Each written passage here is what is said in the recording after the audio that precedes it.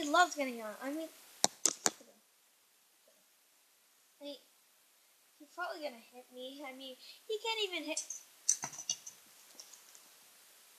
The hell, Luigi!